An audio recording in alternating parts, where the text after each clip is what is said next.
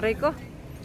So hi guys, nandito tayo ngayon sa isa sa mahawak namin na project under Zonal Realty. Ang dito sa may General Trias, ito po ay very accessible papunta going to Manila, lahat ng mga working to Manila. Naghahanap ng property. Ang daan po kasi nito is Cavitex. Ito, highway na po ito oh. Uh, ang tawag ni uh, Governor's Drive. I mean, ano, uh, Ferrer. Ferrer Drives, yan, dyan yan. Nandito tayo sa Barangay Tapia ng Ferrer Drives, ayan. So, ilalagay ko sa screen kung nasa ano yung pinaka-exact address nito dito. So, sa ngayon, nandito tayo sa project ng River Lane. Ito, nakita nyo yan, tatlo. Yan, 1, 2, 3. So, yan. So, tatlo lang ang model na unit na meron sila dito at ang pinaka-mura nila itong Riley. So, mapapansin niyo dun sa tatlong model nila, yung pinakamura nila, yun lang yung merong balcony. Yan, oh.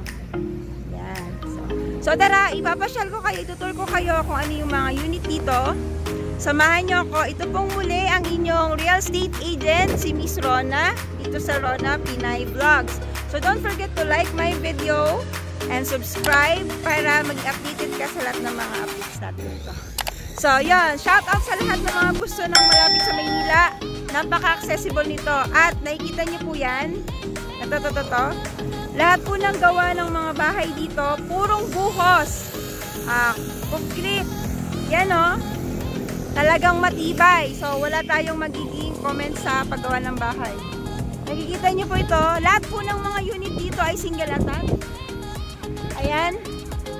Maliit lang po ito na community along highway. And then, yon So, papakita ko po sa screen yung map, yung buong map. Yan lang po siya. Nasa 5, 5 hectares lang po ang dito. So, konti lang po yung unit na itatayo dito. So, hindi siya crowded. Private subdivision ay talagang matitibay. So, wala kayong magiging worry. Kita niyo yan, no? Oh, tsaka ito pa. At, at saka itong lahat ng nasa harapan na to, meron ditong open na commercial. So, yon Yun yung mga feature nila dito. Tatlong model unit and then meron silang commercial na for sale. Uh, iaalamin pa natin kung may kasama siyang house or yung commercial lot lang. So, yon Malalaki yung lot nila dito. Kita niyo yung mga bahay, oh. Hindi siya crowded. Itong Riley natin, yan, yan, mamaya pupuntahan natin yan. Kasi, um, pandemic kasi tayo ngayon, hindi tayo po pwedeng sabay-sabay na nasa loob. So, since may nagtitripping pa sa loob, hindi tayo pwedeng sasabay. So, wait tayo na may lalabas sa kanila. Kaya lahat po nang gustong mag-tripping dito, kailangan po by appointment. Hindi po tayo po pwedeng dumaan lang tapos mag-tripping tayo. Hindi po. Kasi iniiwasan nila yung mga pupunta is maging crowded. Kailangan po naka-schedule. So, yon So, dahil nag-video ako ngayon, dahil hinihintay pa natin yung ating magandang for today. So, yun. Sasamahin niyo ako. Papasyal ko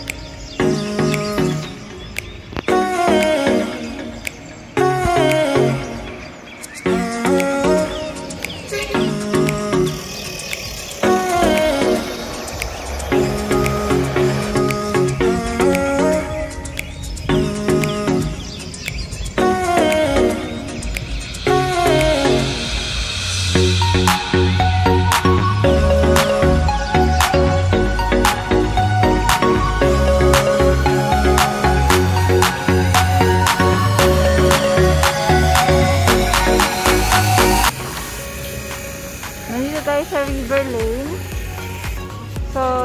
pinaka-entrance niya. Ito yung arc. Ayan. Yan. Highway po yan. So, ito yung art ng River Lane. Curve art. Ito yung pinaka entrance niya.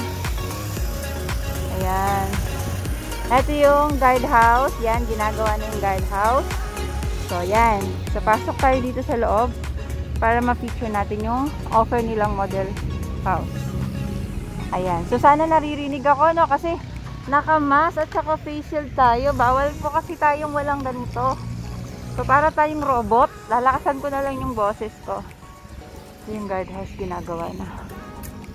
Yan. So, ito yung pinaka malaking model nila na offer. Ito yung Amara model. So, yan. Ilalagay ko na lang sa screen.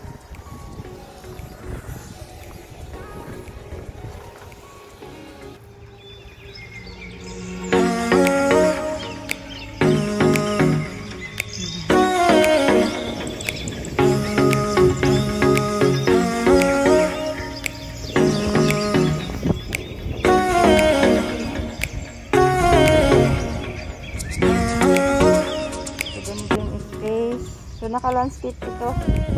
Po ito.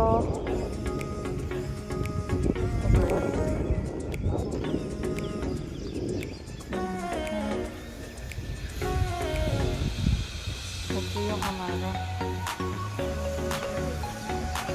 Ayan. Floor area nito is 84.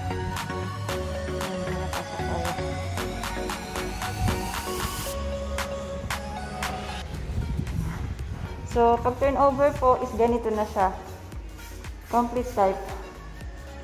Makikita nyo po dito, ang lalaki ng ano no, ng window. So, yung ventilation niya maganda. Yan. May sliding door dito. Diretso back door. Yan o. Ito yung diretso dito sa likod. So, may space ka pa dito sa likod. Ay! Ayan siya. So, may sliding door ka dito, labasan. May back door ka pa dito. So, balik muna tayo dito. Hmm. Ay, mali. Ano ba yan? Dito na. Ayan.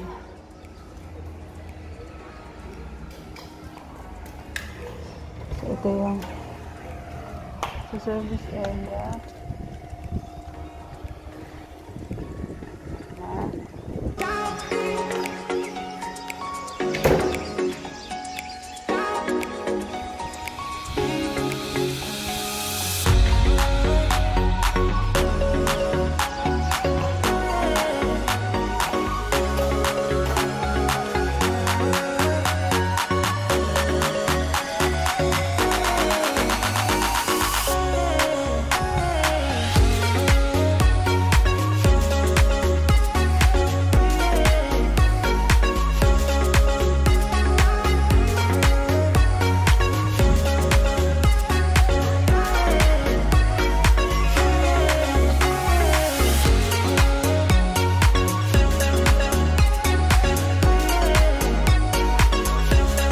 Nakatago yung pinaka-door niya.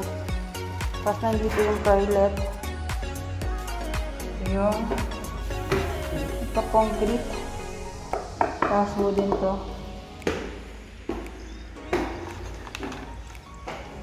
Tapos ito rin. Bakal siya. Ay, ang lawak dito.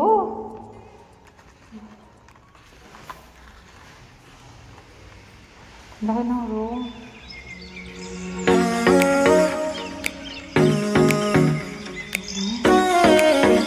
Yung isa pang toilet.